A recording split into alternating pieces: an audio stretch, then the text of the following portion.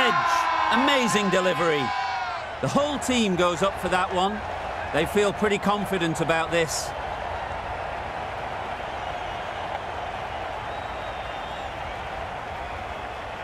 And gone. Brilliant catch.